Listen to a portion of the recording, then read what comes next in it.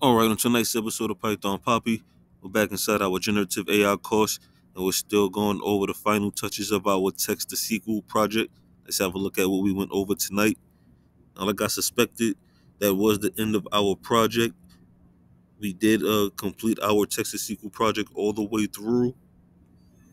So everything is uh 100% done. As you saw yesterday, we were able to generate our responses after entering our queries. This is the database we created we saw we started with, and then you saw how we added to our database a new table or a new field to our table in the form of scores, and then we added those scores to our respective rows. So basically, our project is 100 percent done. Sorry about that, 100 percent done.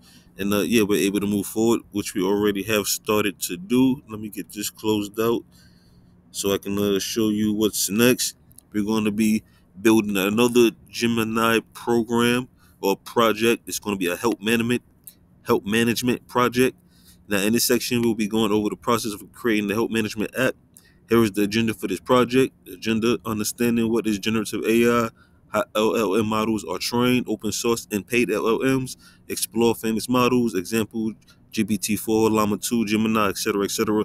Basically, it's going to be the same things we've been going over and over, which is a good thing because repetition is key. So yeah, this is the agenda and this is what we're going to be doing and we're going to be start to build our help management project. I'm not sure exactly what that entails a help management project, but we'll find out soon.